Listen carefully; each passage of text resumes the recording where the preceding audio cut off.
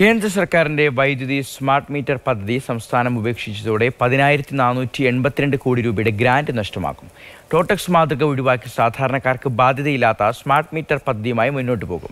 K വലിയ പങ്കാളിത്തമുള്ള ബദൽ പദ്ധതിയുടെ തുടക്കത്തിൽ ഗാർഹിക ഉപഭോക്താക്കളില്ല. വൈദ്യുതി സ്മാർട്ട് മീറ്റർ പദ്ധതിയുടെ എല്ലാ ചെലവും ഉപഭോക്താവിന് ചുമത്തുന്നതാണ് ടോട്ടക്സ് മാതൃക. ഈ പദ്ധതിയുമായി മുന്നോട്ട് പോകേണ്ടെന്ന് സി പി എം കേന്ദ്ര കമ്മിറ്റി തീരുമാനിച്ചതിനാലാണ് സംസ്ഥാന സർക്കാർ അതേ വഴി സ്വീകരിച്ചത്.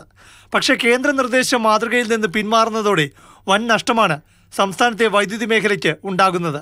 സ്മാർട്ട് മീറ്ററിനുള്ള കേന്ദ്ര ഗ്രാന്റ് രണ്ടായിരത്തി അറുന്നൂറ്റി ആറ് ദശാംശം രണ്ട് നാല് കോടി രൂപയാണ്. പ്രസരണ വിതരണ മേഖലയിലെ പദ്ധതികളിലൂടെ ഏഴായിരത്തി എണ്ണൂറ്റി എഴുപത്തിയഞ്ച് ദശാംശം ഒൻപത് രണ്ട് കോടി രൂപയുടെ സഹായവും പ്രതീക്ഷിക്കുന്നു. ടോട്ടക്സ് മാതൃക ഉപേക്ഷിക്കുമ്പോൾ ആകെ പതിനായിരത്തി നാനൂറ്റി എൺപത്തിരണ്ട് കോടി രൂപയുടെ കേന്ദ്ര ഗ്രാന്റ് നഷ്ടമാകും. പക്ഷേ കുറവ് വരുന്ന കേന്ദ്ര ഗ്രാന്റിന്റെ നഷ്ടം എങ്ങനെ നികത്തുമെന്ന് സർക്കാരിനും എതിർക്കുന്നവർക്കും ഉത്തരമില്ല. ഇന്ന് രാജ്യത്ത് നടക്കുന്ന ടോട്ടക്സ് മാതൃകയ്ക്ക് എതിരായി അതിന് ബദലായി യൂട്ടിലിറ്റികൾ സ്വന്തം നിലയിൽ സ്മാർട്ട് മീറ്റർ വയ്ക്കുന്നതിന്റെ ഒരു പുതിയ രീതി ഉരുത്തിരിഞ്ഞു വരുന്നതിനും തീർച്ചയായും ഈ തീരുമാനം വഴിവെക്കും. അത് ദേശീയാടിസ്ഥാനത്തിൽ അംഗീകരിക്കപ്പെടും എന്ന് തന്നെയാണ് ഞങ്ങൾ കരുതുന്നത്.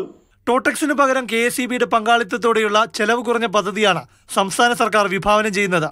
ബില്ലിംഗ് അനുബന്ധ സേവനങ്ങൾക്കുള്ള സോഫ്റ്റ്വെയർ കെ സി ബി തന്നെ രൂപപ്പെടുത്തും. കെ സി ബിയുടെ കെ ഫോൺ ഫൈബർ ഉപയോഗിച്ച് വിവരവിനിമയം നടത്തും. ഡാറ്റ സ്റ്റോറേജിന് കെ സി ബിയുടെ ഡാറ്റാ സെന്ററിനെ പ്രയോജനപ്പെടുത്തും. സ്മാർട്ട് മീറ്റർ സ്ഥാപിക്കുന്ന ജോലി കെ സി ബി ജീവനക്കാർ നടപ്പാക്കും. കെ സി ബിയുടെ നിലവിലുള്ള എല്ലാ ഉപഭോക്താക്കൾക്കും സ്മാർട്ട് മീറ്റർ ഘടിപ്പിക്കില്ല. ആദ്യഘട്ടമെന്ന നിലയിൽ മൂന്ന് ലക്ഷത്തിൽ കുറവുള്ള വ്യവസായ വാണിജ്യ ഉപഭോക്താക്കൾക്കാണ് സ്മാർട്ട് മീറ്റർ പദ്ധതി. ഗാർഹിക ഉപഭോക്താക്കൾക്ക് ആദ്യഘട്ടത്തിലില്ല. പ്രശാന്ത് കൃഷ്ണ മാതൃഭൂമി ന്യൂസ് തിരുവനന്തപുരം.